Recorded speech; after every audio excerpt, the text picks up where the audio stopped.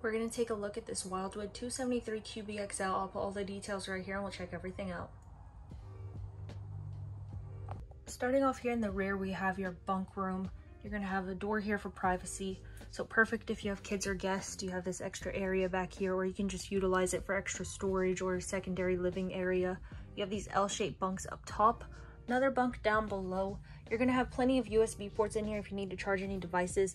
Then you got this sofa down below which will fold out to another bed for you.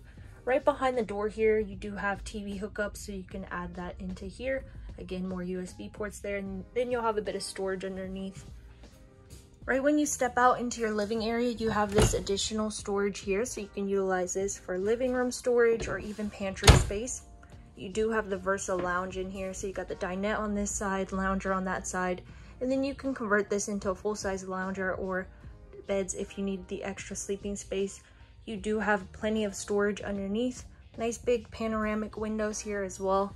Then we got your bathroom located right here. So you have this nice big shower. Sink down below with open storage for your linens and toiletries. Nice size fridge here as well. If we take a look in here, you can see you have the shelves in there that you can adjust and position however you need to right next to your cooking area. So you got the three burner cooktop and oven, microwave up top. You're gonna have uh, storage up top there as well. And then right here you have this open counter space area, two bay sink there, drawer space down below. And we have your fireplace and entertainment section here. So you can mount a TV right up top there and run the cables through here. That way nothing's really hanging down. It's nice and organized. And then you'll have your fireplace there, radio control, open storage there if you needed to add in DVD player console. And then you have storage on both sides.